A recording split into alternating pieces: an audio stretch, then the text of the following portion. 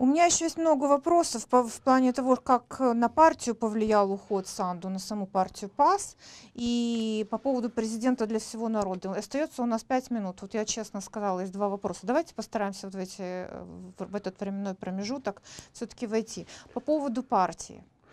Ну, там сейчас э, это похоже не настолько на партию, сколько на какую-то послушную президенту группу. Вот есть группа депутатов, да, она видна. Партия сама по себе не видна, потому что нету каких-то особых отдельных заявлений, где бы мы видели, что это какая-то особая партия, с какой-то доктриной, идеологией, на крайний случай с какой-то позицией политической своей, хоть немного, которая отличается от, э, от Санду. Поэтому ну, вы видите поведение э, временного э, лидера или временного председателя этой партии. Ну, он же абсолютно подотчетен, абсолютно, то есть подчиняется всем капризам э, президента. Ну, какая может быть, э, к черту, извините, партия?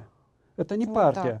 так. Это группа, послушная президенту. И я думаю, что э, пос- поскольку есть Майя Санду, то она, партия не теряет просто совсем лица. То есть у нее есть лица, потому что партия и есть сама Майя Санду. Ну, я надеюсь, что не так. Мы мало знаем, что происходит внутри ПАС. Это не, не- не очень демократическая партия. Ну, у нас и нету таких. И они не должны быть очень демократичными. Просто они претендуют на то. Фильтры, там что-то меритократию выдумали. На самом деле, это обычная молдавская партия, где все проходит под ковром. И слава богу, не все, мы не должны все знать. Все эти ужастики, которые... э, легче жить без них.